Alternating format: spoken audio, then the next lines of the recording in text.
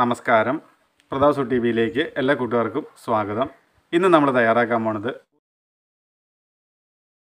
കൊഴുവ fry തയ്യാറാക്കാനായിട്ട് അര kilo കൊഴുവ ഇതുപോലെ നന്നായിട്ട് കഴുകി വൃത്തിയാക്കി എടുത്തിട്ടുണ്ട്. ഇനി അതിലേക്ക് അര ടീസ്പൂൺ മഞ്ഞൾപ്പൊടി ഒന്നര ടീസ്പൂൺ മുളക് പൊടി രണ്ട് തട്ട് കറിവേപ്പില ആവശ്യത്തിന് ഉപ്പ്. ഇത്രയും ചേർത്ത് കൈകൊണ്ട് നല്ലതുപോലെ തിരുമ്മി യോജിപ്പിക്കാം.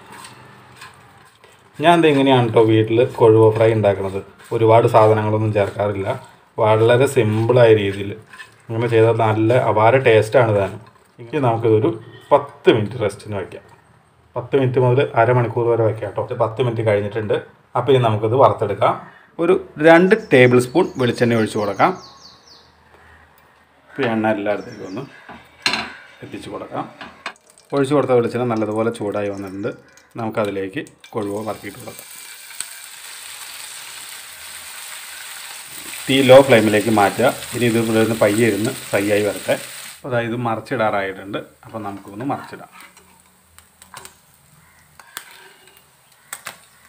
കൊഴുവെല്ലാം മറിച്ചിട്ടതിന് ശേഷം നമുക്കതിലേക്ക് രണ്ട് പച്ചമുളക് നീളത്തിൽ അരിഞ്ഞത് കൂടി ചേർത്ത് കൊടുക്കാം. ഒരു തണ്ട് കറിവേപ്പില കൂടി ചേർക്കാം. ഇനി ഇതെല്ലാം ഇവിടെ കിടന്ന് ഭംഗിയായിട്ടൊന്ന് ഫ്രൈ ആയി വരട്ടെ. അപ്പോൾ അതാ കൊഴുവിയൊക്കെ നല്ലതുപോലെ ഫ്രൈ ആയി വന്നിട്ടുണ്ട്. അപ്പോൾ നമുക്കിതൊരു പാത്രത്തിലേക്ക് മാറ്റാം. അപ്പോൾ അതാ ബാക്കിയുള്ളതും നമുക്ക് ഇതുപോലെ തന്നെ ഫ്രൈ ആക്കി എടുക്കാം. അപ്പോൾ അതാ നമ്മുടെ കൊഴുവ ഫ്രൈ തയ്യാറായിട്ടുണ്ട്. അപ്പോൾ നമുക്കൊന്ന് ടേസ്റ്റ് ചെയ്ത് നോക്കിയാലോ?